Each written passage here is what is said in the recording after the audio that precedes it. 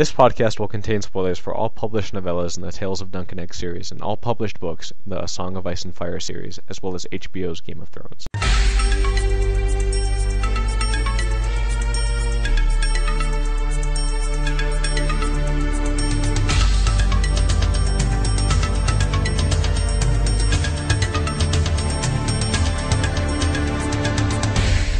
Welcome to the Vassals of Kingsgrave. Today we'll be discussing The Hedge Knight, the first of the Tales of Dunk and Egg series of novellas written by George R. R. Martin as adjacent stories to his Song of Ice and Fire novels. The stories follow Dunk, a humble hedge knight, and his squire Aegor Aegon, a fourth son to a fourth son in the Targaryen lineage as they make their way across Westeros and bear witness to many of the events that help shape the world we see in the main story, including the Great Spring Sickness and the Blackfyre Rebellions. These events also eventually lead to Egg taking up the mantle as king in Westeros, with Dunk or Sir Duncan the Tall as his Lord Commander of the Kingsguard, until they meet their end at the tragedy of Summerhall. The novellas, The Hedge Knight, The Sworn Sword, and The Mystery Knight are available in the Legends, Legends 2, and Warriors anthologies. Graphic novel formats are also available for the first two. Joining me to discuss The Hedge Knight are Bina. Hi everybody, it's Bina 007 from the forums. Vikram. Vic. Oh, I'm sorry, I muted myself. Hi, I'm Vikram. I go by as 42 on the forums. Leigh. Hey everybody, this is Leigh. I'm usually Lord Manderblee on the forums. Amanda. Hey, this is Amanda. I normally go by Mi- Middle Cyclone on the forums. Michael. Hi, this is Michael. I go by Mordion on the forums. And Nadia. Hi everyone, this is Nadia from the forums. Awesome. So um, before we get started, I, I, prepared a brief, well, not that brief, summary of The Hedge Knight, the story we'll be discussing today, the first, of course, of the three novellas. So with that, here we go. The Hedge Knight opens with Dunk burying Sir Arlan of Pennytree, for whom he squired for many years, since the man rescued Dunk from the squalor of Flea Bottom and King's Landing. Dunk, lamenting the old man's loss, but unsure of what he will do next, takes his arms, armor, and horses and makes for the nearby tourney at Ashford Meadow. On the way, he stops at an inn where he unwittingly encounters Daeron, or Daeron the Drunken, the firstborn of Maekar Targaryen, who himself is the fourth son of the reigning king of Westeros, Daeron II. And uh, if you think this is confusing, you haven't read The Princess and the Queen. Uh, Prince Daeron remarks to Dunk that he dreamed of him. Dunk leaves and on his way out encounters Egg for the first time, he himself a son of Maekar, masquerading as a stable boy. He asks if he can go to Ashford with Dunk, but Dunk waves him off, sure that the boy will have a better life at a good inn like this. Uh, when he arrives at Ashford, Dunk marvels at the spectacle and the array of lords present to participate in the tourney, including Prince Valarr Targaryen, son to the heir apparent, the far-famed Baelor Breakspear, Lord Leo Tyrell, Sir Tybal Lannister, Sir Lionel Baratheon, Sir Humfrey Hardyng, and Sir Stephen Fossoway. Dunk heads into the tourney grounds the next day and goes to watch a puppet show, paying particular attention to the tall, pretty Dornish girl controlling the dragon. Afterward, he goes to search for armor, but learns that he must sell one of the three horses he took from Sir Arlan to afford the price the armor smith sets. That night, as Dunk makes camp under the bow of an elm tree, he once again encounters Egg, who followed him to Ashford. Dunk, annoyed at first, eventually agrees to take the boy on as a squire, charging him to watch the camp as he sets off to register for the tourney. He visits the steward of Ashford Castle to do just this, but is rebuffed and told that he must find a lord who can prove that he is a knight in truth. As Dunk leaves, he encounters Prince Aerion Targaryen, who takes Dunk for a stable boy and insults him. Dunk then sells his mare Sweetfoot to afford the price of the armor and goes to watch another puppet show. Afterward, he plucks up the courage to ask the pretty puppeteer if she'll join him for ale and sausage, but she declines. Dunk wanders off and meets Sir Stephen Fossoway and his squire Raymond Fossoway as they train on foot, the older Fossoway easily besting his cousin. Raymond urges Dunk to fight his cocky cousin, but Dunk is eager to acquire his armor and relieve himself of his heavy purse. The next day, Dunk goes to Sir Manfred Dondarrion, whose father Sir Arlan rode with three years back, but Manfred does not recognize him and refuses to help. Dunk wanders back to Ashford Castle, thoroughly dejected, in search of the steward and is directed to the Great Hall. There he encounters Lord Ashford, Baelor Breakspear, the Hand of the King, and his brother Maekar. Baelor vouches for Dunk, recalling that he once broke four lances against Sir Arlan uh, at Storm's End a few years back. Dunk realizes that he is speaking to the Prince of Dragonstone, heir apparent to the Iron Throne, and is told that he must find a new sigil for himself. He returns to the young puppeteer, finding Egg there watching another show. He asks the girl if she'll paint him a sigil, which they agree to be a green shooting star above an elm tree proper on sunset. The tourney begins the next day, and an array of lordly knights ride forth to unhorse the five champions tasked with defending the Queen of Love and Beauty. At the day's end, Sir Tybal, Prince Valarr Targaryen, son of Baelor, Lord Leo Tyrell, Sir Lionel Baratheon, and Sir Humfrey Hardyng, who splintered no less than twelve lances against Sir Humfrey Beesbury, a bout that came to be known among the small folk as the Battle of Humfrey, and considered the best of the day. Dunk is thoroughly impressed by the spectacle, but the day is marred when Prince Aerion is in a show of great dishonor drives his lance through Sir Humfrey Hardyng, Hardyng's horse, killing the animal and crushing one of the knight's legs. That evening, Dunk discusses the unfortunate event with Raymond Fossoway, pleased at least that Sir Humfrey Hardyng will be allowed to stay as an honorary champion for the duration of the tourney despite his injury. As they converse, Egg bursts into the Fossoway tent and, tells Dunk that Aerion is hurting the young puppeteer. Dunk rushes to the scene and attacks Aerion, who breaks one of the puppeteer's fingers for the treachery of putting on a show where the dragon loses. Dunk punches Aerion, but is pulled away by the prince's men at arms. Dunk is jailed in a tower cell and is brought up on trial for assaulting a royal prince. Daeron, who had charge of Aegon before he went missing, says that he too has a grievance with the Brigand Knight. Dunk requests a trial of combat, as is his right, but Aerion demands a trial of seven. Dunk scrambles madly to find six fellows to join him in a battle against two princes and three members of the King's Guard. Sir Stephen Fossoway and Egg promise to find him loyal men. Prince Daeron speaks to Duncan, saying that he wishes things could have been not been this way, and tells Dunk of his plan to fall immediately when the battle begins. Dunk goes to find the puppeteers to retrieve the shield, but finds that they are gone. The armor smith Steely Pate calls him over and says that he, they left the painted shield behind with him, offering it to him for a paltry sum. Dunk heads off for the tourney grounds where he is met by the men Egg has gathered, specifically Sir Humfrey Hardyng, Sir Humfrey Beesbury, Sir Robin Rhysling, and Sir Lionel Baratheon. Sir Raymond is hastily knighted by Sir Lionel to make six, but when Sir Stephen arrives, he announces that he will be fighting for Prince Aerion instead. Dunk, at a loss for what he will do, watches in wonder as Prince Baelor rides up in his son's armor to join Dunk against the accusers. The bout begins, and the knights come together in a clash. Dunk makes for Prince Aerion, who crashes into Dunk and unhorses him. He very nearly crushes Dunk with his Morning Star, but the hedge knight rolls free and pulls the prince to the ground, forcing him to yield. The battle ends just like that, but not before Baelor is fatally wounded by none other than his brother Maekar. The next day, Dunk, fearing for his life, is retrieved by a group of Targaryen men at arms. Sure that he is about to be executed, Dunk is surprised to learn that Prince Maekar wishes for Dunk to come to his castle, Summerhall, and be trained as a knight in truth, with Egg as squire. Dunk agrees to keep Aegon with him, but says that it will, it will be better for the boy if he maintains his life as a hedge knight, swearing oath, oath to whatever lord will take him. As the story continues, Dunk muses that Dorne might be a good destination, and Egg remarks that he's heard that they have good puppet shows there. And that is that. Um, so to begin, guys, I thought it might be good to just give our lemon cake ratings on this story, The Hedge Knight, and maybe if you have an interesting story of how you discovered the, st- the stories, the novellas, and how you got them, then that too. So uh, I'll start with you, Bina. Um, I give them a solid five out of five. I really enjoyed all of the Dunk and Egg tales, and I think Mimi is totally right that in retrospect they'll be seen as an important part of the canon um, on a par with main novels. I don't really have an interesting story about how I came to them, um, although I did buy the actual books. I didn't go read them in a bookstore. Yeah. No, I love the characters. I love the camaraderie, and in a world that's so cynical and dark in the main novels, it's just so nice to see these two guys who are basically just good mates. How about you, Vic? Oh yeah, I really like the enjoyed the story a lot. I would give it five out of five, and I think it's probably the best of all the three stories. Probably even better than Princess and the Queen. Also, um, as far as how I procured them, I chose to not to incriminate, incriminate myself, so I plead the fifth. Uh, but although I have to say, I later on bought the Warrior anthology with George Martin's signature on it, so I hope that compensates.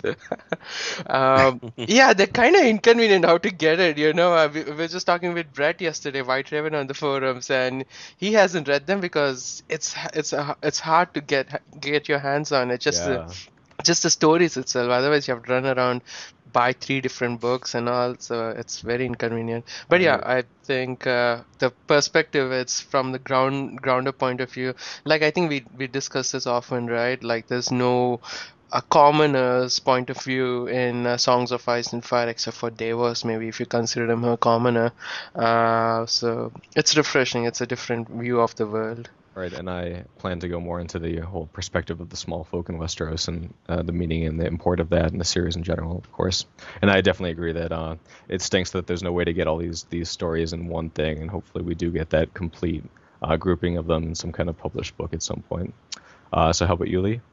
I never thought they were that hard to find. Um, I don't know. I read them all in the short story collections they came out in. So I, or I read Hedge Knight in Dream Songs. And I Oh got, right, Dream Songs, right, right. Uh, Sworn. Sword and Mystery Knight in Legends and Warriors, which all the other stories in which are terrible. Really? I liked some of them. Maybe I liked like one of them. I don't know. I read Yeah. them a while ago, but I was they were certainly not Hedge Knight quality. Mm, No, no. Um, You know what's really cool? I never even bother reading any of the other stories to know, which is awful because I guess it's a way of George R. R. Martin getting attention for other authors, but I don't even bother. No, a lot of those authors are, ju- or were at the time as well known as he was. Yeah, Um, certainly for the legends. Yeah. Yeah. Um, his other short story collections I usually enjoy more, but these are just really like low quality. But that's not the point. Um, and you can buy them as graphic novels now. I think. You can. Yep. Not Um, for not for their Mystery Knight, but the other two you can. Yes. You know, and Yeah. so my rating, I don't know, I'd give it a pretty high rating. I really love them. Um, I'd give it like a four and a half. I'd give Hedge Knight a four and a half. Sworn Sword a three, probably. Um, no, three and a half. And It's Uh, Venice, isn't it? yeah, and Mystery Knight like a four and a half. Okay. So how about you, Amanda? Well, I actually read them as the graphic novels first. I hadn't read them as the main, uh, as the actual short stories until very recently through similar methods to what Vikram was applying, uh, implying. Um, but I would definitely give it a four out of five. of Lemon Cakes. I really love the story, and I think it's it's just a very different perspective. And it's a different way of like the way George is telling the story is very different from how he usually tells individual points of view. So I really enjoy it. It's very like fresh and different for him. I think. Awesome. Yeah, I hope to get the graphic novels at some point. I've just they sound really cool. I just The art's to- cool. It's Yeah. it's like worth looking at actually. Don't get the Game of Thrones graphic novels though. Duly noted. Uh, how about you, Michael? yeah. Um, I really liked them a lot. I'd say uh, the first one here is, is probably my favorite. I'd say probably five out of five, and then dropping slightly into the four range with the with the second, and then back up to maybe four and a half for the Mystery Knight. Um, I didn't acquire them in any particularly interesting way. I think I I didn't want to pay out for the uh, for the anthologies, and I didn't want to read them in graphic novel form, so I just put them on a Christmas list, and somebody bought them. It's efficient. yeah. and Nadia? Hedge Knight, I'd probably give five, and Sworn Sword would be much less. I think a three and a half, and then the Mystery Knight again four and a half. Um, and as to how I got the stories, I would rather not say. okay. Uh, awesome. Yeah, I also um, just bought the short story anthologies after uh, learning about them. I just at the time I was just so very into everything A Song of Ice and Fire and wanted to consume everything humanly possible. So I I just dropped the money and I tried to read a few of the other short stories and, and failed. I, I did finish a couple, but I I realized in the end I was just in it for the Dunk and Egg. But I, I would say it was well worth it. Uh, I would give the Hedge Knight five out of five. I seriously love this story. I kind of have just a a resonant appreciation for these sort of knight stories with tourneys and and all of that classic stuff that we don't often get to see in um the A Song of Ice and Fire novels proper, especially lately. Uh, it seems like we've kind of departed from some of that that kind of stuff in favor of uh, more intrigue and, and dark brooding and all that, that that's fun stuff too. Um, uh, yeah, nothing too interesting for me as to how I got them. I just kind of bought them in a row on uh, digitally. Uh, so I thought we'd begin with the um, a discussion on the small folk in Westeros and how important this perspective and this this th- this theme is to the story in general and what we just think about it in general. Uh, especially because lately it seems like on the forums people have been discussing the idea that that um, trying to figure out the morality of various lords like Kevan Lannister and Tywin Lannister and whether or not their actions against the small folk uh, damn them as characters. And a lot of the argument has been that the small folk are just not important as characters. And I think that the Hedge Knight brings an interesting perspective uh, in giving us this insight to basically uh, any old small, small folk in Dunk. He was born in Flea Bottom, was raised as a squire, but a Hedge Knight squire. And there's some dubious um, evaluation of whether or not he was made a knight, or if even Sir Arlan Pennytree was a true uh, hedge knight himself. So, uh, anyone would just want to give thoughts on that idea generally, and we can move into more specific topics. I think uh, in in real world the the knights would have behaved more like they behave in Hedge Knight than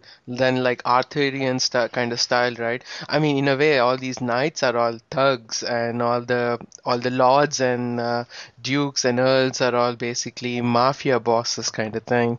They I mean, that's that's what I pictured. Uh, a mafia boss is probably uh, a modern day version of a lord or a thing, and and I yeah, so that's what I feel like. So so I I don't think there ever was in real world history ever was a true upstanding knight kind of character. They were all like like that, you know, douchey and stuff. I mean, as a as a rule, I think you're probably right. But I I mean, the idea that there's never been anyone who was uh, you know serious about being a knight seems unlikely. Yeah, I, I, I obviously history is hard to um say exactly how things went, but I, I always had the sense that actual knighthood was a little bit more of a big deal than we see in these stories. It seems like it's very odd that you can just knight someone at just because you're a knight. I felt like that there was more of a process and ceremony and and work behind doing something like that. I didn't think that it was always um, so bad like this, but maybe this is a a decay. It didn't used to be like this in Westeros, but it has just gotten to this point where people are less concerned with these kind of things. I don't know. I kind of think that the the Westerosi uh, any knight can make a knight thing is is probably a good ultim- uh, more than a bad. I mean, otherwise it's sort of uh, consolidates thing. If say only lords could make a knight or something, then it just sort of consolidates uh, all sort of power and responsibility even more. Whereas when you have this any knight can make a knight situation, uh, I think that uh, less well well born or well known people actually have a chance to I mean, it's a very small amount of social mobility, but uh, it's at least a little bit of it. Knights are also there's also a lot of religious uh, aspect to it also, right? Like uh, Yeah. like usually the knighting ceremony is done in a sept or something, and it's mostly seen in the southern kingdoms where the the seven are worshipped and north in the north. So I mean, so something like that, right? Well, it's a weird construct because just like in the real world, it sort of simultaneously uh, upholds the status. Well, it, what it is is it upholds the status quo while promising a little bit of mobility, like just enough to keep people kind of satisfied. I don't know. I, I think it's sort of a tool of the nobility to keep people less upset with what is a pretty shitty system. I don't really I, I don't really feel like it's offered in the in the stories in the world as a uh, as a social mobility thing like work hard you'll be a knight. I mean like I guess a little bit but I don't feel like it's a thing that where like everybody's like oh well I mean yeah I was born poor but you know I've got a decent chance of being a knight. I guess maybe it's sort of like being a millionaire in America or something like work hard you'll be a millionaire work hard you'll be a knight. But like nobody really thinks they're going to be one. Bronn did really well with his knighthood, right? I mean, his growth was exponential. Before, he was a common sellsword, barely noticeable. Tyrion only noticed him because he was in need of him. Then, when he became a knight, suddenly uh, the the other uh, who's the who who did he eventually marry? Lollys, Lawless right? Stockford. Right, Lawless, and they, she got noticed by them, and, and it wasn't too out there for Lawless's family to marry her to him.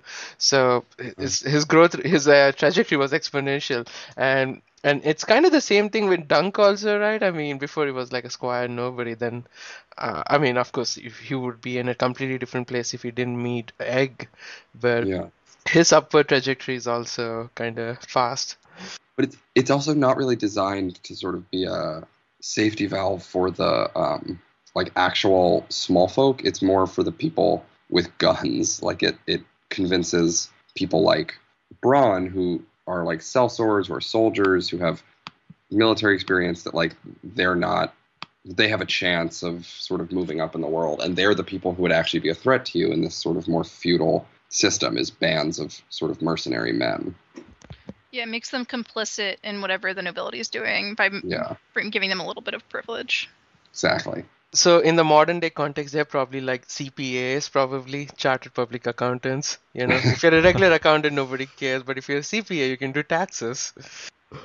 I mean, I wouldn't even say that they're just complicit. I would say that they're they're also um, encouraged to be loyal because it's obviously you're in great debt if a lord or a knight makes you a knight. Uh, it's a very powerful um, way of gaining loyalty, obviously, uh, to give that kind of offer. I just think that even if there's there's room for abuse um, in just lords being able to hold all the cards and make knights or kings, I think that when any knight can make a knight, there's just so much room for exponential abuse of that power. Because uh, if anyone has that power and can use it to any end, I mean, obviously you're not going to have infestations of knights running around because there there is some kind of um, re- you have to have some kind of reason generally for doing it. But I still think that it's it's concerning when you can just make anyone a knight on no basis other than the fact that you are one. That obviously But pedigree is very important to knighthood. Like you can't just be like, "Oh, I was knighted," and someone's like, "By who?" and you're like, "Some dude you never heard of." That guy's not going to be like, "Oh, great, I'm so proud of you." The whole point is to be like, "I was knighted by Rhaegar himself." You know, I was knighted by Prince Baelor. Like that's what makes you. I don't know. It gives you an edge over the other knights. So like you want to sort of prove that you are a worthy knight before you start just like tossing knighthoods out to other people. Yeah, though. I, that's why I find it really strange that that uh they ask for egg or dunk to knight Raymond Fossaway. Like, why why dunk when you have so many other much more distinguished knights than him? because it's his fight and because he's already being made famous by this trial of the seven like it is like you you would be like oh i was knighted by sir dunk the tall who like died in that trial of the seven or who won that trial of the seven Fair either point. way you're going to be it's the first one in a hundred years it's it's a Yeah, it's a big deal. occasion I may be confusing it. I haven't re- reread the story in a while now. Did Dunk win something else apart from jousting? Did he win like melee or something like that? No, he didn't do anything before the the trial of seven. He didn't participate in the trial. Oh, okay, okay. I'm confusing it with the other movie for the. Ah, crap! I forgot the name of Mystery that movie. Night? Uh, no, no, the movie. a Knight's uh, Tale. The, A Knight's Oh, yeah. yeah. So, um, with that said, um, does anyone else want to have any thoughts on the um, the small folk bit? Uh, whether or not their perspective is important, whether that is a thing that is desired in a Song of Ice and Fire novels, or if it's just something that belongs in a short story, different off the road kind of thing like this.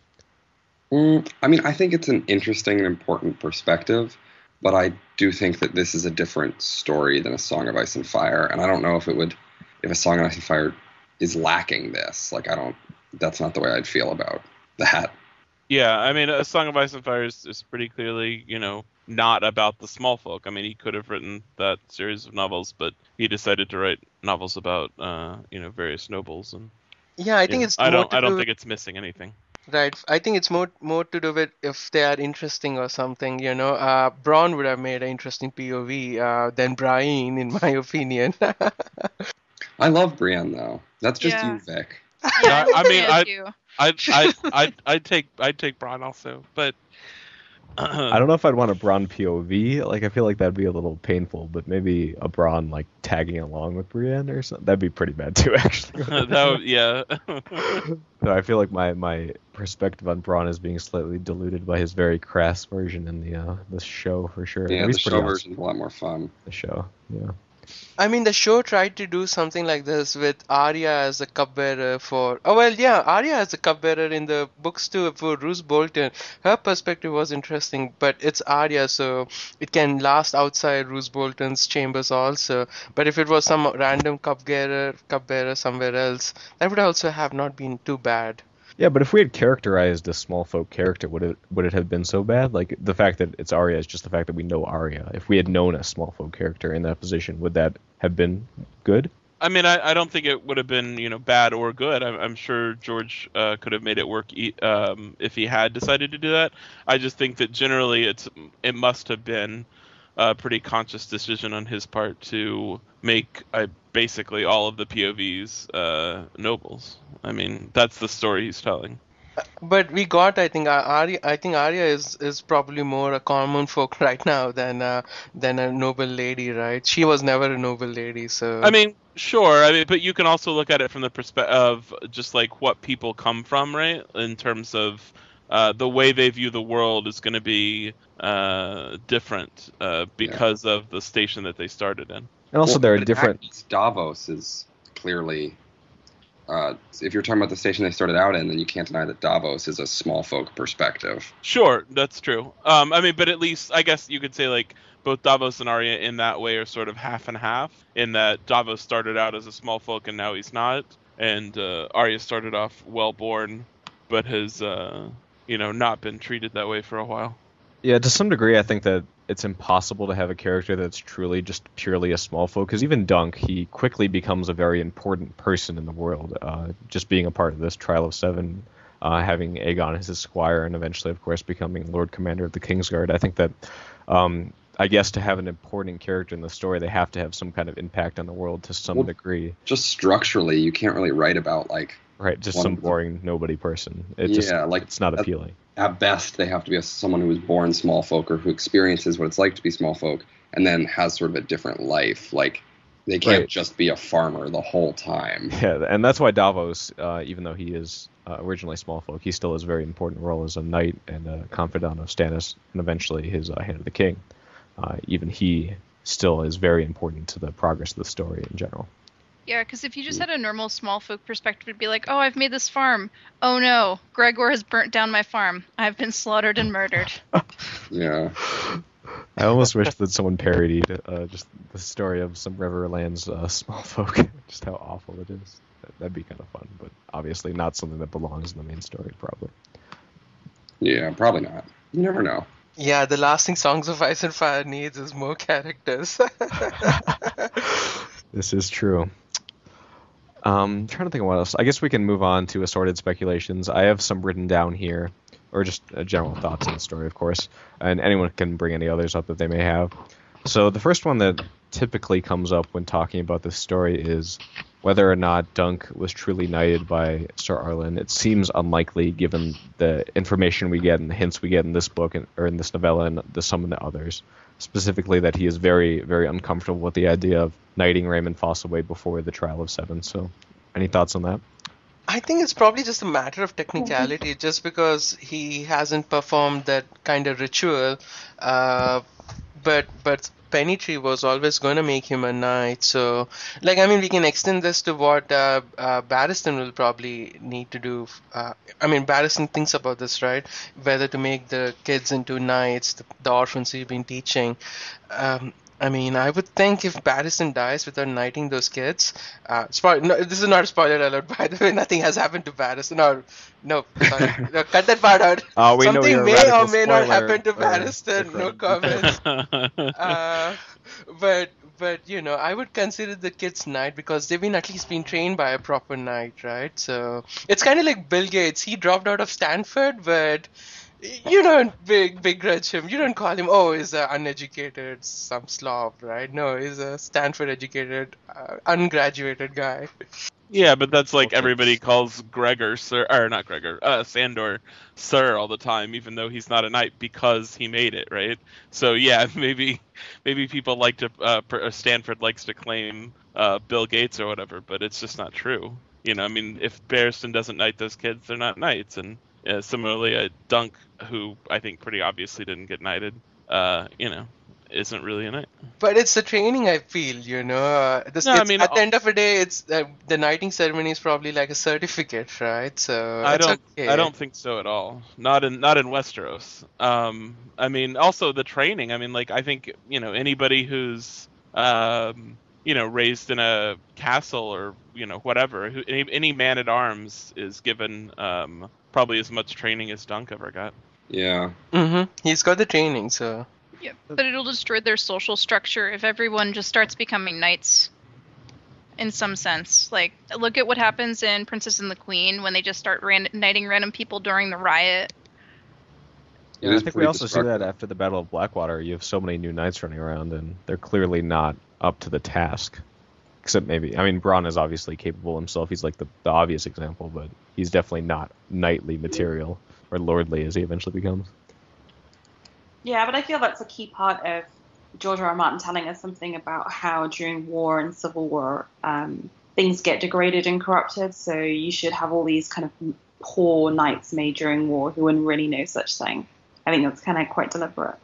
Right at the end of Battle of Blackwater, don't they make all the mercenaries into knights too? Absolutely. Pretty much, and- yeah. There's tons of knighting. Like they, they, they have to. I think they, they have the Sept of Baelor like going all night. Apparently, like that's the description. Yeah, yeah. so Well, you got to reward the people who are supporting your unsustainable feudal system somehow. Yeah, and it's not like it really means anything. You're not giving them money. Yeah. know. also historically incredibly accurate, right? Whenever, if you read back about any of the famous aristocratic families in England, the, major- the there's two kind of key times when a lot of these people, like the first Earl of whatever was created.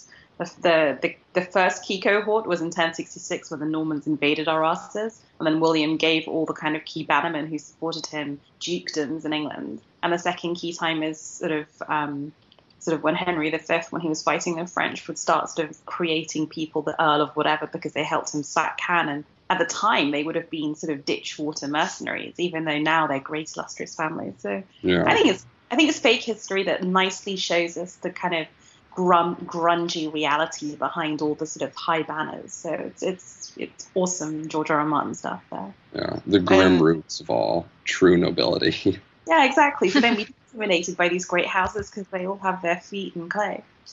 Right, and and being becoming a knight doesn't automatically give you any privileges. The only privilege I think is you can enter a list, and that is also still doubtful if you're not being knighted by a good authority. So it's not like at inns and stuff you are getting a discount or something. Like Dunk did not get any privileges at the inns uh, or at the weaponsmiths. Oh, you are you are a knight. Here's a 15% discount uh, on the shield. Like, how much is, how much is it to enter a list when you can just get killed? I mean, like program recently on I think it was Anglo-Saxon Britain, so like the 11th century, and they were just describing how insanely dangerous it was to joust. so, Yeah.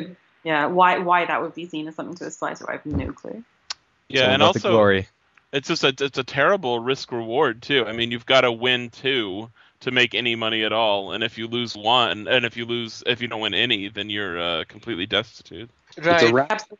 So the best case is kind of the, the typical case, if you're lucky, is destitution. yeah, exactly. It's a, it's a. I was thinking about that when Dunk was talking. It was first talking about going to to uh, participate in the tourney, and it's just like that is a hell. Like you're better off like walking into a tavern or something and like betting somebody, you know, double or nothing on a coin flip. yeah.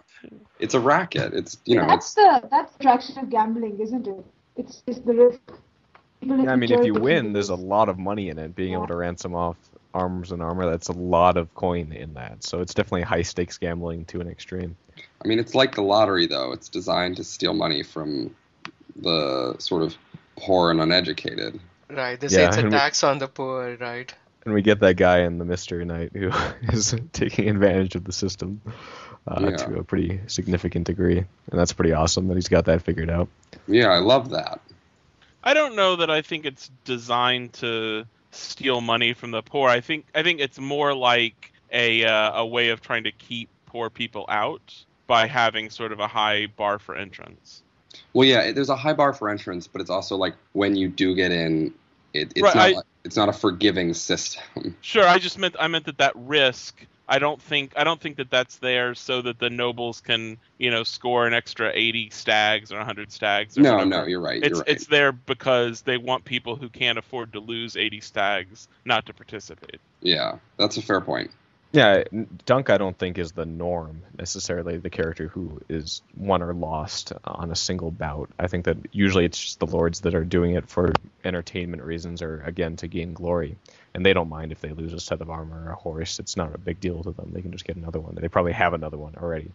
Yeah, I think the poor are just uh, just you know are the audience and they're just enjoying the show. I think, right? I mean, it's just to keep the appease the masses uh, from boredom, I guess. Yeah. So I would say it's pretty awesome to end with it uh, on this point that uh, that a uh, someone who wasn't a knight was made Lord Commander of the Kingsguard. That's pretty cool. Um, I would think he probably got knighted at some point, hopefully, because I feel like Egg knows. No, but I don't think he ever admitted it to anyone that he wasn't a knight. Right. I don't think so either, though it could happen. We haven't seen. I, I don't even know if we're going to get that far in the novellas. Like, I don't know if it's intended to go that far, but I guess we'll find out. Yeah, I, I mean, I sort of I withhold judgment. I think it's possible that uh, at some point Dunk would tell Egg and Egg would rectify the situation, but it very well may be that, that no one ever found out. Would, yeah, we, that's what would, I bet on. Would people be disappointed if we didn't get up to Summerhall in the novellas? Like, I personally wouldn't mind. I, th- I like that they're not going that far and that it's still a mystery, but people do people really want to know what happened there? I mean, I just like reading them. I just want them to keep going. Like, if he writes them for a while and then gets bored and doesn't reach Summerhall, I won't be heartbroken. But if these are the only three we get, I'd be pretty sad. I'd I'd like to get to Summerhall. I'm you know, I, I'm you know I'm not gonna tear my hair out or anything if we don't, but I'd like to get there. He might cover a Summerhall in that World of Ice and Fire encyclopedia thing. No, I don't think he'd. I don't think- mystery. Yeah, that page exactly. is going to be burnt, like you said before. it's not going to be in there. It's going to be like a maester's point of view, so you still won't have like the details, but uh, you'll know what happened, what went in, and what came out at least. I don't care whether it's in a Dunk and Egg or the main Song of Ice and Fire stories, maybe with someone reminiscing about it or telling us explicitly this is what happened at Summerhall.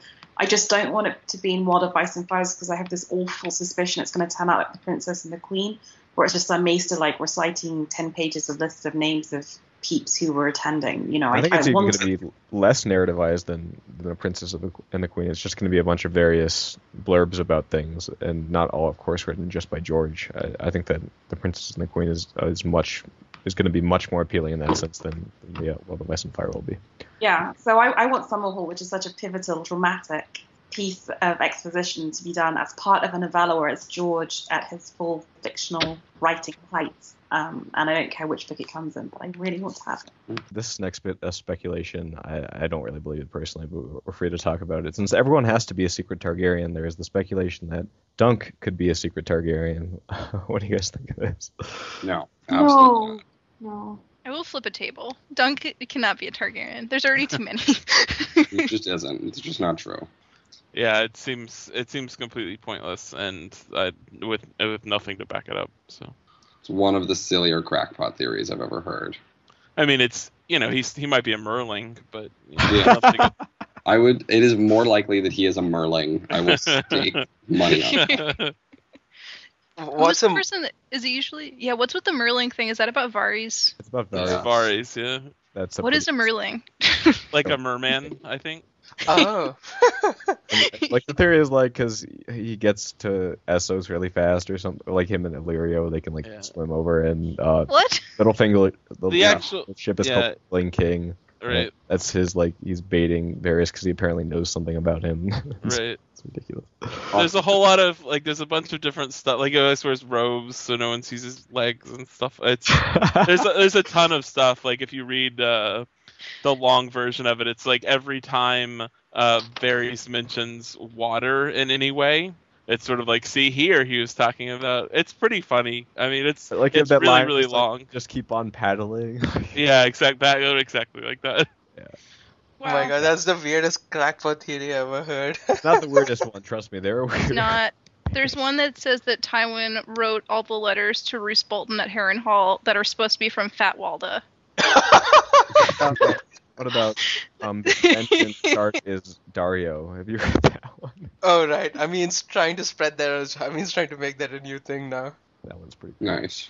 All right, so uh, I guess to move something that's a little bit more plausible, or at least maybe not, um, is Tanselle too tall, old Nan? Apparently, this is also a theory. I, I think that the way that the stories, yes, okay, It's well, first, plausible. I'll say that I think that the way the stories work right now, Dunk kind of, well, he doesn't really in the Mystery Knight, but he kind of just meets like a new liaison sort of in each story, and I imagine.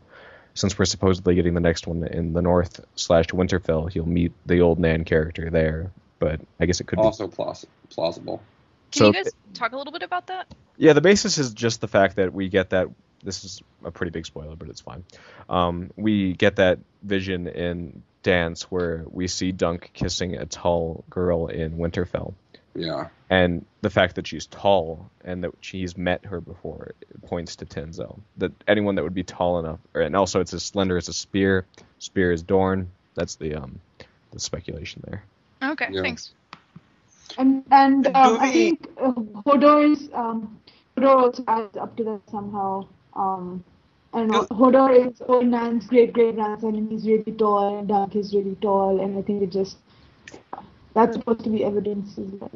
Do you guys think that Hodor is his grandson, or great grandson, or whatever? Yeah. Because I definitely Definitely. do, and I also definitely think that Brienne is descended from him.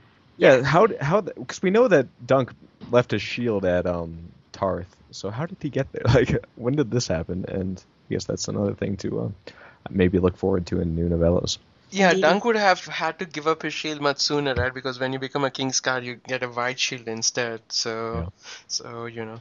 But do we know that the pe- person that Bran saw is actually Duncan? Because he kind of said a tall knight and a tall spear-like lady. So, It's Yeah, it's just guess fact that it's Dunk. Yeah, it's definitely not a concrete theory, but that's pretty much just the, the idea is that it could be Tanselle because of those little literary references of the spear and the fact she's tall. Um, though, if if he is indeed the um, the um, sire of the future existence of Hodor and Brienne, um, is the next theory that uh, Dunk was the Brandon Stark of his time? Is, is he getting around? He was. Hey, we all know from Hodor that Dunk's probably packing. That's- Oh, There's the I remember in the um, podcast of Ice and Fire there was great speculation on his um his uh package in the graphic novel apparently. It's Uh, yeah, Yeah. I remember that. so I guess that's true. Um the next thought I always had whenever I read this story is how the hell do these people carry all their coins around? Because um, Dunk needs 750 stags to buy, or he gets 750 stags by selling his horse. Obviously, you're not selling or buying horses every day. That you don't normally deal in that many that amount, but that's such a ridiculous amount of coins to carry around. I guess that it may be converted to gold um, to 100 or to 10, but still, like, I can't, im- it just blows my I, mind. I actually saw this in Black Sail, uh, the new Michael Bay show. Uh, Oh. There, they had to like carry 2,000 gold coins, and they wanted to be discreet, so they converted it to pearls, where each pearl is 200 coins. So that way, they only needed 10 pearls to carry around. So there could be other things, other commodities of value. Yeah, but if you could look at, use. At some of the numbers and what apparently the currency exchanges are, they're ridiculous. Like it's like like twenty thousand silver stags for like like a moon or something. It's it's crazy. Like I don't understand. Yeah, it could be 700 coin, gold coins and carats also. So, so yeah. I think it's established that monetary economics is not George R. R. Martin's forte. Yeah, that's what I was about True. to say. I mean, I, I think that it's basically just, uh, you know, sort of the. Uh, uh, everything's always in gold coins in fantasy stories, so everything has to be in gold coins. But uh, realistically, presumably people would have, you know, things like letters of credit and, and stuff like that. Yeah, you could also just like there are goods that are far more valuable than gold. So like pearls, diamonds, and things like that. Yeah. land. I mean, well, the if you own land in Westeros too, that would be much more. I, I don't know. Land is already a big deal, and it's hard to manage. Well, it's probably easier in, here in the Western countries than uh, in the East. You know, you always have, uh, you know, uh, people who occupy lands and all that stuff happening. So it's kind of hard to maintain a land uh, in case if the law and order system in the city is not good. Uh, you know, people with the more muzzle and tug can take over land and claim it theirs. Uh, yeah. So, so land probably is not too reliable an asset in Westeros unless you Well, I- are in person there and guarding it, fenced it, and everything. I think it was considered much more valuable. Like generally speaking, land was considered much more valuable uh, during this sort of like time period than than today. Yeah, because you didn't have to worry about like if someone you don't have to worry about anyone going going on strike or zoning permits or something. It's just like it's your kingdom if you own it. But uh, do the commoners get to own lands? They have to pay rent, right? They're tenants. I don't think they're even. I don't know if they're tenants or if they're serfs. Honestly, Uh, I mean, just I would I would suspect there are probably some of each, but I don't know. Yeah, I don't think you get Yeah. to own your land. You just have a right to farm it or something like that. Yeah, the, the the lowest of below. It's kind of where the word villain comes from, isn't it? Like, but villain, it was it meant the kind of people really tied to the land, almost like serfs. Um, Mm. like the concept of like common holder was was late medieval. I think. Right, we see this in more in the Sworn Sword, where the the knight, uh, the landed knight, I forget his name, uh, the Czech uh, chequy lion guy. Uh, he, of course, uh, he has villagers who farm his land, but and so the villagers pay tenant to the knight, but the knight can be taken away by the lord of the the lord of the province. So. Yep. So you know it's all very, and the king can come and take over take over that. So that's the thing with despotism. You know, there's no real law and order there. It's it's whatever the kings want, whoever's carrying the favor at that point in time. Uh, yeah, We we still have eminent domain now, Vic. yeah, yeah. You can make that argument at any point in time. I think that that the capricious nature of whoever's in power, whatever they want to do, really, you're subject to. I guess to an extent, it's more of a problem in Westeros, but it's definitely you never really are safe in your uh, your assets. I just think it's more of a point at any in any country where there's potential war, right? I mean, that's the Yeah. people in Ukraine getting their assets frozen or whatever. So Yeah, I mean we get a we get a pretty powerful example of this with the Blackfire Rebellion that shakes things up to an extreme with lords that were backing uh, Daemon getting completely torn apart and lo- losing all of their power. Absolutely. It's it's just like a joust writ large, basically. if you win, Yeah, then this you get if you win, then you get some other lord stuff, and if you lose, then you're gonna lose half it, most of your stuff. Yeah. And of course, it's kind of, again, at this kind of time in, in the, the legend of Robin Hood, the concept of an outlaw being someone who, not in a romantic kid story, someone who sort of robs the rich and gives to the poor and runs around being cool, but someone who was just outside of the law because they'd been they'd forfeited their lands and because they'd gone off to the Crusades, so someone, some like local lord, just nicked their land. And if you didn't have land, you were no longer kind of legitimate as a lord. You had no literal base to your power, and suddenly you were outside of it. So yeah, That's- I think it's all very interesting. That's why I think craftsmen are actually pretty. Uh, it's a good place to be in this world. If you're a commoner, it's you'd rather be a craftsman because there you have nothing to be taken away. You have your tools, you have your anvil or your forge or something, and you always get to keep it. Uh, nobody's going to take away from you. And plus, I'm thinking, how are they going to get taxed? The farmers, it's easy to get taxed kind of because you see, okay, you have so many bushels of corn or something. But with an ironsmith, who's gonna go and say blacksmith? Who's gonna go and say how many armors did you forge this year? Okay, you need to give me one armor for every ten you did. But if if you're a talented blacksmith or a, like you know Gendry, classic example, yes, for sure, Exactly, no one yeah. can your livelihood, but they can capture you. And so, you know, the classic example being in the Russian Revolution, where people would sort of steal doctors and take them away with them to the front. If you have a skill, you yourself physically become a commodity, just as Gendry became a commodity. A because of his use in Harrenhal, you know, he was useful and skillful, but then because of his blood. So Yeah. in a way, it's because they can't take take away your shit as tax; they take you as tax. Yeah. But at the same time, craftsmen are usually the first people to start, like guilds and craftsmen are the first to sort of like start to push against Feudalism. sort of some of the feudalism. Yeah. All right. Yeah. So another thought I had on this idea is is because apparently the uh, coins they're using are minted with King Daeron's um, face, and I think that that's kind of strange that they're able to so quickly put them in circulation. Actually, I just saw this on the HBO store. They are selling coins, uh, but it's got it's got uh, the Stark uh, em- uh, sigil and Eddard stiff on it. Well, that doesn't So make I'm- any I'm- sense. So I'm thinking No. every lord probably has a coin of his own, or as long as the coin weighs whatever one ounce or whatever is the The standard. Manderleys. have a- Everybody's good, I think. Yeah, the Manderleys have a mint. Mm, so I think everybody has a mint. I don't think own. everybody does. I think Manderleys do. I think Lannisters do. But I think that they they contribute to the circulation of. I don't know. It, Yeah, Obviously, and it's hard to again, say. Yeah. That's Or really Nick and I. historically accurate. At this time, the the royal family would not, or the government in Westminster or wherever in King's Landing would not have monopoly on the printing of coin. And yeah, not every family would have them, but you'd have two or three. So in England, you would have two or three. Um, I- and then depend. It was really funny actually. Like you could tell how civil wars were going by, you know, whether the Northern Mint had decided to change the face on the coin to the guy who was supposedly winning in the South, and then you'd have the Mint in the middle of England, like sort of just playing neutral and just putting kind of crosses on each side of the coin and stuff like that. So yeah, I always, uh, I I always wonder this. Um, so we know why the gold coins are called dragons, and but why are the silver ones called stags? Because I don't think they were called stags after Robert came to power. They were called stags even before, right?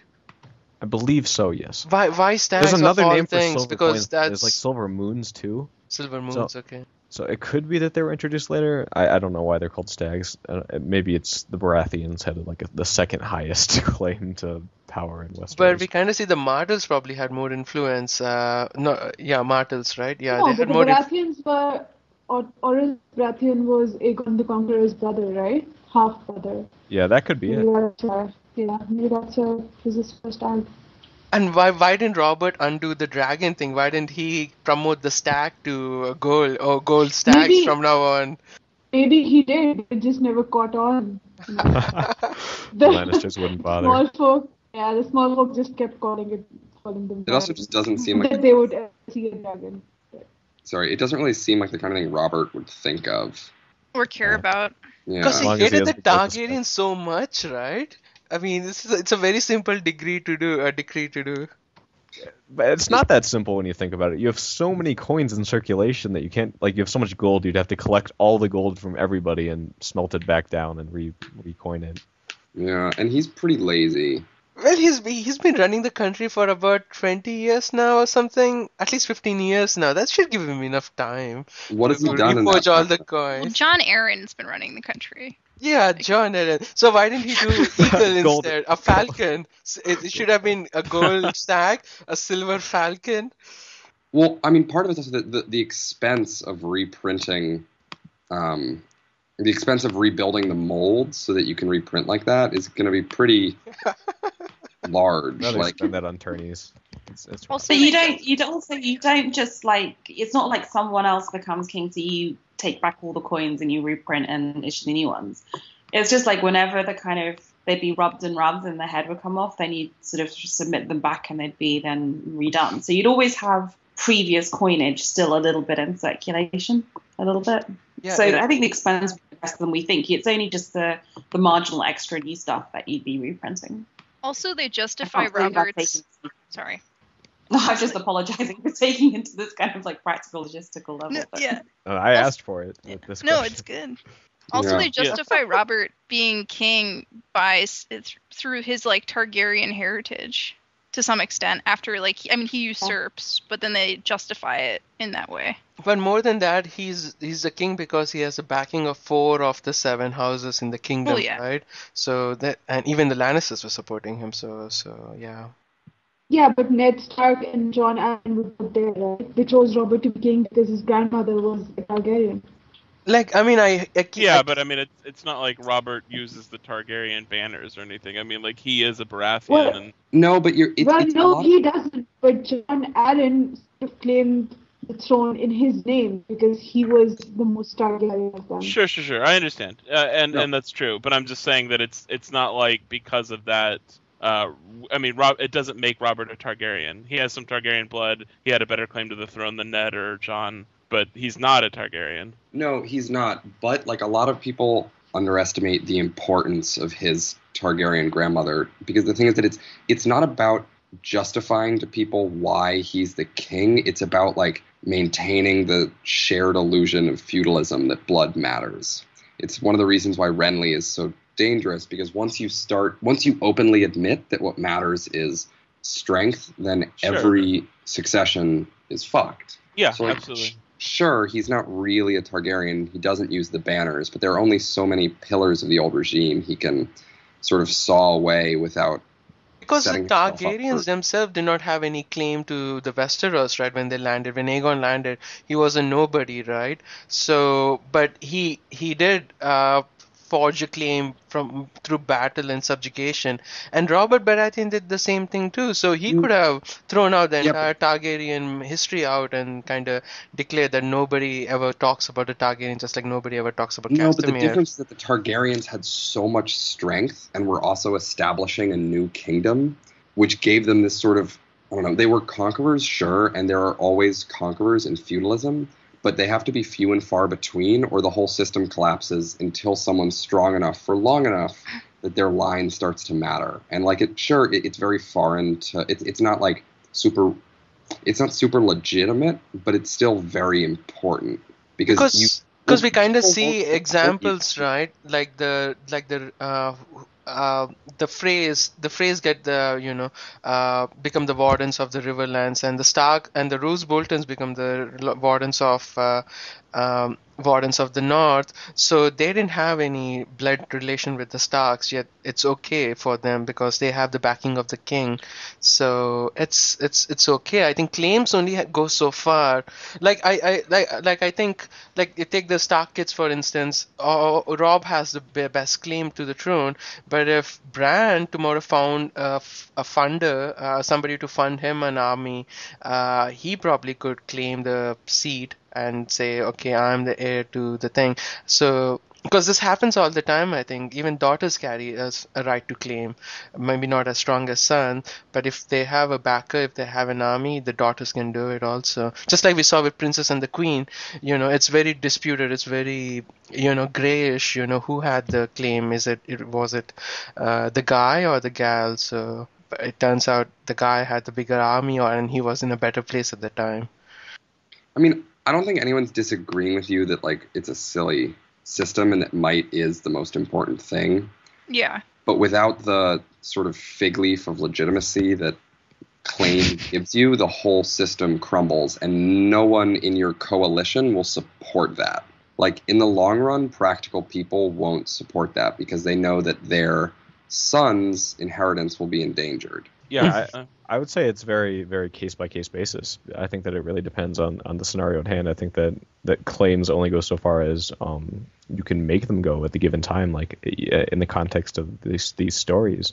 Um, the Blackfire Rebellion only really started because people saw Daemon as a more capable ruler. They were more uncomfortable with um, with Daeron as leader, given like the events that had happened, um, the sickness and all of that, and they just they um they I mean it just was his support gained on that basis alone. It wasn't really a base of a claim or anything like that. It just no, really, I mean it, it was partly based off a Well, claim. His yeah, father partially, gave him the but- sword. yeah, he gave him the sword. Um, I, I mean, I, just feel- think without that, it would have been a lot, lot less likely. I think to have happened yeah, without without his father legitimizing him and giving him the sword. I mean, like that's a, a realistic claim at that point. Yeah. I mean, I think I think Leigh's right. I mean, you have to, these people. While obviously the only thing that matters, I mean, it's true today too, right? Like the only thing that matters is that you know the government has all the uh, has all the guns, right? Like that's the only thing that's important. But the fact that everyone agrees that the government is legitimate, more or less, I mean, that's what keeps society together, and it's the same thing with them.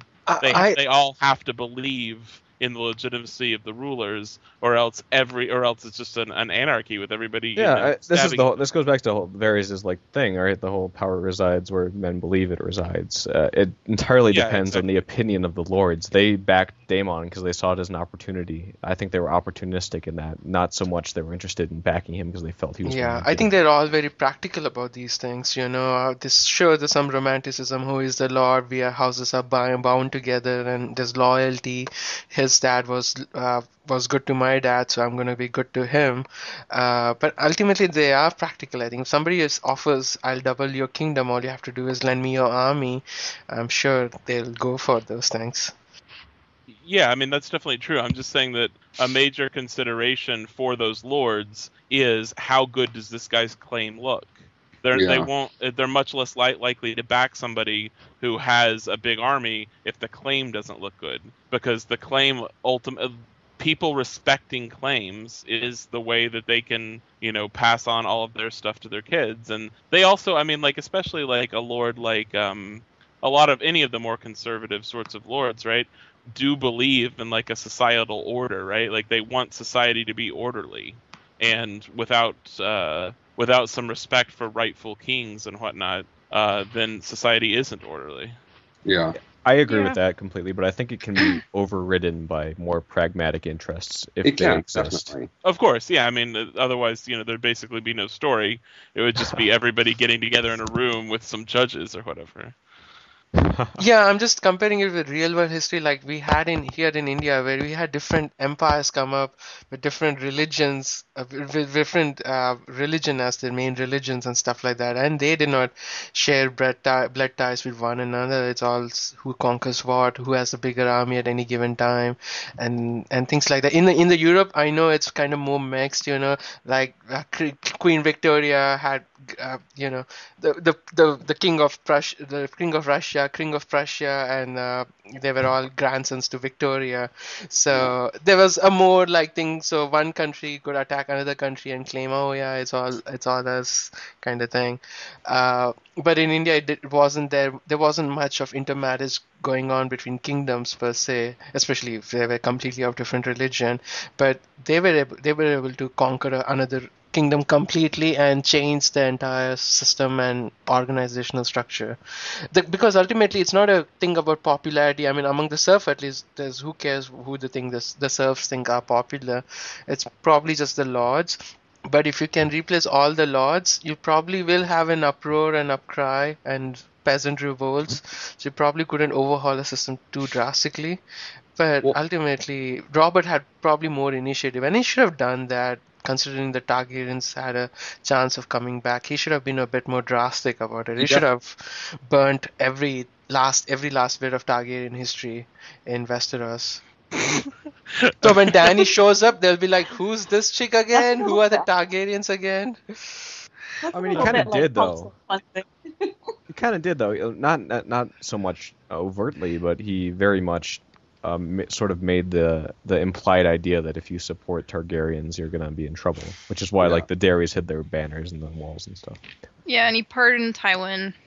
It's all a balance, you know. You have to, you have to sort of get halfway between. Um, there's a bleh, sorry. There is a like an equation between force and claim and popular support, and you have to have enough of some of them, or none of it's going to work. Um, and it's if you have so much overwhelming force, like the Targaryens or like the conquerors of India at a few various points. You can really do whatever, or like William the Conqueror, you can really do whatever you want. But if you're sort of over, if you don't have the overwhelming su- superiority of dragons or a huge Norman army, it's going to be a lot harder to sort of just tell everyone to do what you want them to do forever. Gotta play that Game of Thrones. okay. Uh, to move on to something completely different, All right. um, this is from Shellfish slash Peter on the forums. Uh, is Ser Lyonel the coolest dude ever, or what? He Yes. definitely has. Yeah, he definitely has like one of the coolest titles from anybody in the story. Yeah, the Laughing Storm. That is Yeah. pretty amazing. Yeah. He also turns up to sport dunk, right? Even though he doesn't have to. Yeah, but it seems like it's kind of like a joke to him. Like I'm just gonna fight here because you know. Yeah, it's more like like Oh, oh shit, I could yeah, participate in a but- tourney of this in a battle of the seven or whatever it's called. Like Sweet. sign I'll go me down up. history for this. Yeah. Yeah, he's just he's just uh, uh, a guy who enjoys the tourney and all that. Kind of like a uh, proto Robert, I guess. yeah, it's basically like wait, there's two melees in this tourney. Like I am in. Yeah, he's pretty awesome. Um, I guess in that vein, what is everyone's favorite um, knight slash turning person or even character in the story? Oh, Baelor Breakspear for me. Yeah, he is pretty. He is pretty cool. It's, it's a shame that we didn't get to see more of him because he is definitely the probably the best Targaryen in power that we've seen. I think my this seems a favorite little too good to be true. yeah, that's uh, He, I mean, he he can. He's so nice to dunk. I mean, he's just a little too good to be true. I mean, nobody's that nice in. in your this your, your goodness is, is inversely proportional to your life expectancy. Yeah. It's a fair point. Uh, though I think that I mean he he's not like totally like nice to the point of it being ridiculous. I think that he's just very courteous and he knows how to play people. Uh, yeah, I mean, which- yeah. yeah, the trial of seven still happens. It's not like he makes it not happen. Yeah. He he t- he makes a point to know. It's obviously a good character trait, but he makes a point to know like everyone he's fought, which is why he recognizes Dunk. But it also it's uh, there's a level of pragmatism to that too. Definitely. Anybody else that anyone wants to mention? I love Uh, Steely Pate. Oh, yeah. Yeah, Steely Pate again. It reminds me of uh, the aforementioned A Knight's Tale, like uh, the the woman that that uh, makes his armor and that. I don't know. He just seems like a cool blacksmith guy that willing to help a guy out kind of person. Raymond Fossoway was nice. Mhm. Yeah, and it's kind of cool that we like get history that previously like we're like, what the hell? This green apple at Fossoways? It's kind of cool to understand how that all started. When we're getting that one part in Renly's camp, where we're learning about all those people that we have no idea what's going on. Yeah. That's really all I have listed here in terms of speculation or things to mention about the the story. Anything else anyone wants to bring up? Uh, I would say that I really like. There's an element of the story I really like, which is that it's sort of, it's I don't know. I, I love the way that George R. R. Martin makes Dunk, uh, the Hedge Knight, feel so like bright and fun. Like the colors are more vibrant than they are in A Song of Ice and Fire. And I don't know if that's just the narrator or if it's the sort of just that it's like a more fun story in its own way. But like it's something I've always really liked about it. It's just that the story is so much less grey. Um, I think the there's almost a clear good side and a bad side. I think that's. I, I think that's having a feeling. I think having a kid helps, right? I mean, uh, if there was no egg around, Duncan wouldn't be drawn to the puppet show, right? I mean, a grown up would be like, "Oh, puppets! So how how silly of that." You don't watch SpongeBob SquarePants randomly, right?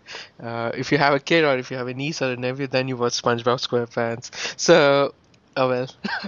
but basically, I think having a kid in a story helps. You know, you're doing all those goofy stuff and uh, that's probably why I think the story is more fun because of Egg in it rather than Dunk doing anything. Dunk is probably a bit dull of a character.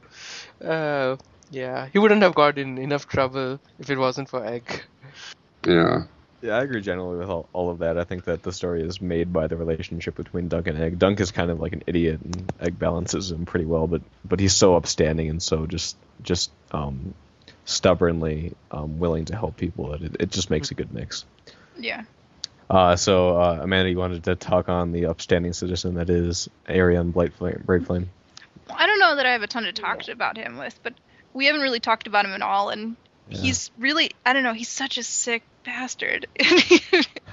Especially all the implied like weird, shady, almost door creaking stuff with Egg. Not so much Yeah. implied. I mean, Egg Not is a all Like, not even implied, just- happening. Yeah, Egg's a liar, but it seems likely that he's not lying about that. yeah. I don't know. I mean, eggs, eggs how, how old? 11? 12? Ten or eleven, I think.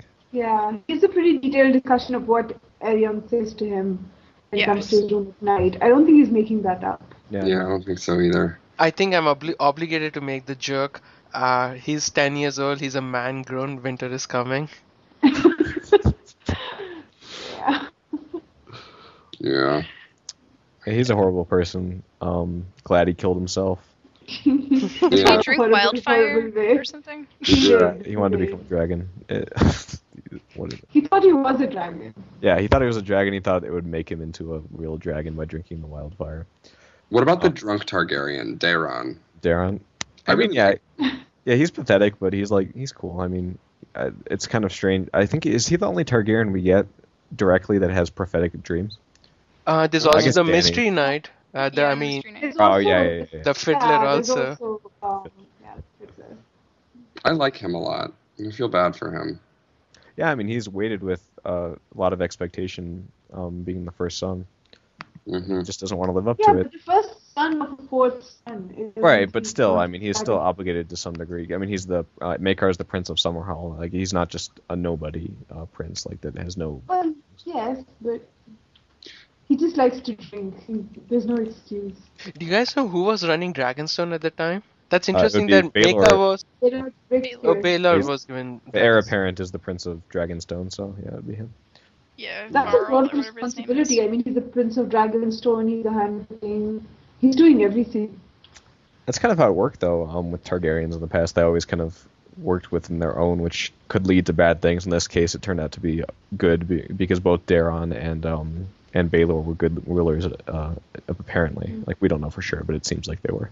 Yeah, they seemed like they were pretty confident, which is rare. I mean, I mean, and the comparison is a is a great example of just that, that whole point. I think that is first brought up in the show actually that uh, Cersei makes that that uh, Targaryens are like flipping a coin, where you've got the Aerion Brightflame, and then you have the Baelor Break Spear. yeah. I think even even Maekar was pretty competent. He was just uh, blinded where his son. He was just blind where his sons were concerned. Yeah, I mean, when you think about it in the context of, of the society, it's probably pretty um, tough to realize that your first two sons are, are mess ups in their own way. Your third is a, a maester in training, though the best Targaryen. No, I think he understands that his eldest is messed up. He Yeah. just doesn't realize it about Aerion, and he's. I think he knows Aerion's not right. He just doesn't want, doesn't have the competency or the willingness to do anything about it. Yeah, I think so too. Yeah. Yeah. Cool. I don't know. There's not a ton of discussion in this one. It's such a it's such a lovely, like refreshing, sweet little story, but it's not super meaty, and there's not a lot we can say without like hugely spoiling later stories. Ha- yeah, you- I agree. Did I you guys know the this? Uh, King Maekar actually died in a battle with the outlaws. It happens in like the seventh chapter in Game of Thrones. Hmm? Um, uh, in a Catelyn chapter, she says that Maekar died uh, in a battle with the outlaws. Yeah, I think we hear about that in, in the Sworn Sword too. Like they all all of them are killed, or a lot of them are killed off. R- right, but not how they died eventually. Yeah. Hmm. Yeah. I think Maekar is still actually alive at that point. Um, Oh yeah, he's alive throughout the thing. Yeah. yeah, a lot of the other Targaryens died though in the, the Spring Sickness and the, the rebellion. Yeah. Yeah, I would say that more of the intrigue and like the sort of more worldly politics do come in the, in the later in the later stories, and we'll be sure to get to those. I just think that this story is just like a just an excellent, like you say, the introduction into the into this this period in the world. Just a very fun, exciting story, very distinct from the main series, and um, that's all I'd really say about it. It's just it was it was a joy to read. I was so happy that I that I picked up the the anthology despite the cost and and, and found this one because I seriously love these stories. It really is a joy to read. Yeah. Uh, yeah. Uh, so I guess that's about it, guys. Thank you so much for joining me for this uh, VOK on the Hedge Knight. It was a lot of fun. We will be continuing um, with the Sworn Sword at some point in the future. Probably, I think after the um, the show finishes airing, because I think Yeah. Vic, we do have uh, some kind of thing planned for the show at some point, right? Uh, oh yeah. Oh, so yeah, yeah. We're still thinking about it. We'll we'll probably do the traditional review episodes, of course, but since we kind of have to put them out at, at a, such a quicker rate, and we have to probably record them in a week, I'm I'm I'm just thinking of this now. Maybe we'll probably will do multiple of them.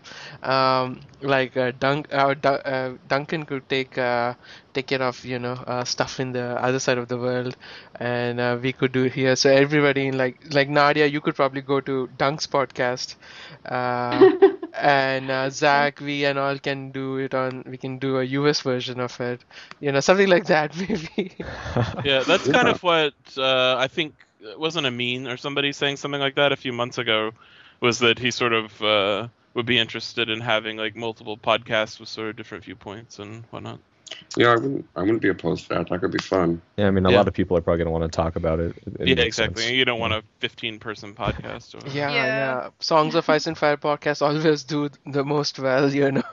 Yeah. like Mhm. of the four podcasts that crossed the thousand mark, three of them were uh, Songs of Ice and Fire related. So we don't want to miss out on this opportunity. But uh, yeah, yeah. Still don't know what's the most uh, uh, way we can do best. I didn't want to do reviews because it's everybody does it. You know, every Tom, Dick, and Harry podcast out there is going to do it. Do they need a tenth podcast also discussing the show? Pretty much every talking point is going to be out there. So I wanted to do something, you know, something different. You know, not just reviews, where nothing occurs to me that could be fun.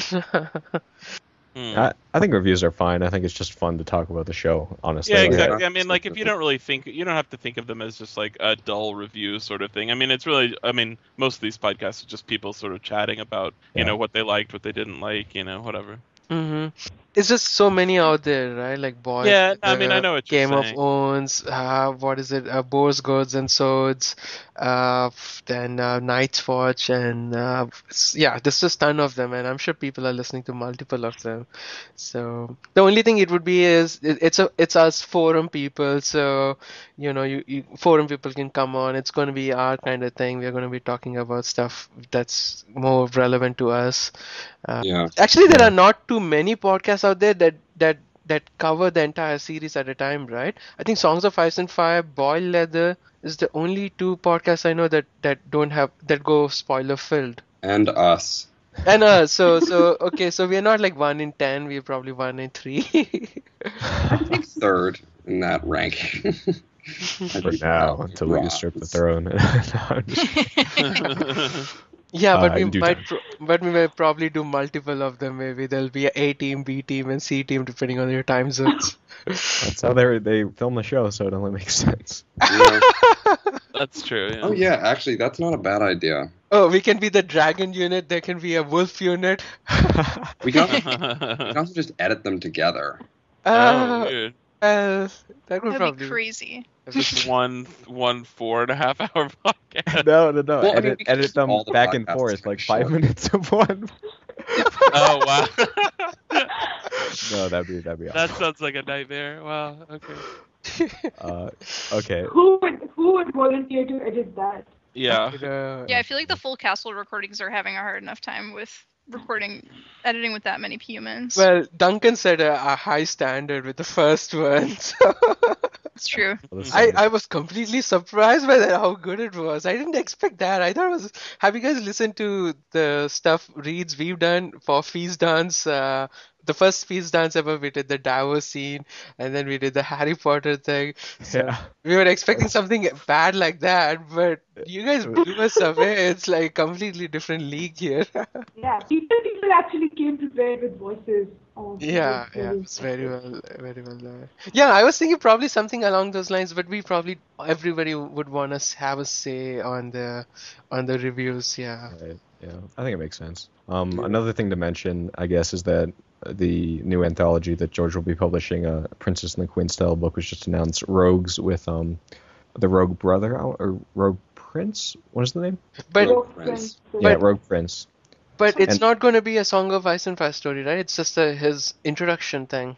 Oh, no, thought it was- is. oh. There's gonna be No, a no. one about. no, It's gonna be about a story. Daeron, Daemon. No, Daemon. Since Daemon. Daemon. Yeah. Yeah, it's Rhaenyra's like, it's like. Princess and the Queen style. I think the same Maester even. It's like the same kind of idea. Maybe a, a bit shorter, but just more. know, attractive. Sweet shorter. Like I'm reading his blog here, and time in King's Landing. No, I'm reading his blog here, and it's it's it is the rogues are coming, and uh, he says that, and he says George is writing everybody loves a rogue, brackets introduction, because in every anthology Yeah, he writes. to yeah, and he, uh, he was originally doing that, and then he was he decided it was he was gonna add a short story to it or whatever. Yeah, go down to the end of the post. It I says, think, oh, yeah, okay, it okay, we've decided to add a 21st. Yeah, he's Okay. tricky sometimes. Yeah. Uh, yeah, I'm actually very much looking forward to that one because, of course, that story should be good. And there's a lot of actually other stories and authors I'm interested in reading in that, surprisingly. So uh, Yeah, that comes out in June. I can't wait to read Yeah. that. Awesome. Anything else anyone wants to mention before we sign off? Um, well, not that you're going to have this ready by soon, but there's going to be a New York meetup, right? Yeah, it's Wednesday. Yes. Oh, Wednesday. Okay, okay. Mm-hmm. Cool. Um, I think I'm gonna be there. Bina's gonna be there. Michal, uh, Lord Prism. I don't know if anyone else is making it, but it should be fun. Man, Vic, we got to get something going on the west side of this country. I know, right? Yeah, yeah, we should. you live in Portland, right? Uh, no, I live in uh, Colorado, but I, I can make it out to California yeah, without yeah. too much trouble. Yeah, we could probably pick a common spot or something and uh, assemble there. You guys could go to Vegas. I know, I was thinking something Yeah. along the same lines. It's close, one flight away. Yeah. yeah. I- I'll never get to come to one of these. Uh, Well, you have Saad. Actually, where does Saad live. Oh yeah, Saad is in Lahore. Yeah, Lahore. that's Lahore, easy. okay. That's in north, right? Yeah. So you are. I'm in Saad. Lahore. Oh, you are in Lahore. No, I thought I'm you were in in. Lahore. I Oh, live you're in Lahore. you you are from, from Karachi, Karachi, but you live But in. I live in Lahore. Oh, Yeah. there you friend of mine was go. Or, I mean, there's no way you know him. It's a huge city, but What? I, I have a good friend who goes to my school who's from Lahore, Oh, okay. but Um. there's no. It's a huge city, so never mind. And as we discovered, uh, Lahore's capital uh, population is more than Finland. No, that's Karachi. Karachi is huge. Lahore is pretty small compared to that. Lahore is pretty small? Huh. No, Lahore is small compared to Karachi. Karachi is huge. Lahore Okay. has. Karachi is like compatible to New York. Right, it's a port city, right? So they're always. Lahore has over five million, See, that's still bigger than Finland. and also hasn't. it also hasn't been measured since 1998. Um. Yeah, we're kind of slow on updating statistics. and Karachi Uh. is 9.4 million and hasn't also hasn't been measured since 1998. Yeah, it's probably much, much bigger now. all right, I think we have reached with that uh, all that we're. we yeah, when we start about. opening up Wikipedia and looking at populations for cities, Uh, I think I remember last time. like, you know- Wow. I was trying to explain why Fahrenheit is better than Celsius. Um, which It is better than Celsius. no! All right, no, we're not starting this again. The gaps, the gaps in between the Celsius degrees are enormous. It's ridiculous. All right. How do you even know what temperature it is? Well, if it's zero and the water is frozen, then it's zero Celsius. I'm saying that the, the get that the the hugeness of a single degree of Celsius contains more than the entire range of That's why we have decimal points. I suppose, but that's just that's just silly. No, it's not. Celsius makes sense. Zero is freezing, 100 is boiling, 50 is just hot. No, Celsius doesn't make any sense. Let's all just use Kelvin. Oh yeah. Kelvin Kelvin is the way to go. Absolutely. there you go. Oh, you just add 273 to Celsius, right? So it's pretty much the same. Uh, Or subtract, you mean? Uh, no. Yeah, No, subtract. add. Zero Kelvin is minus 273 Celsius. I'm so No, lost. at minus, at minus 273, nothing exists. Everything stops existing. Yeah, Kelvin zero Kelvin is negative 273. It can't get colder than that. It's not That's the coldest point in the universe. Yep. Well, I feel like I'm off track. Yes. Um. Yeah. I'll probably edit this out, but it's fine. Oh, I mean, it's a short podcast anyway, so Yeah, When, yeah. when, once it starts getting longer, then you want to be more uh, That's true. cu- cut out the That's- tangents and stuff like that. Yeah. All right. Yeah. So yeah, thank you again, everyone, for joining me for this Yeah. podcast on the Hedge Knight. Again, looking forward to continuing these and uh, for other Vox shows we'll be doing in the future. Thank you, everyone, for listening, and that is that. Bye, everybody. Bye, Bye. everybody. Bye. Bye.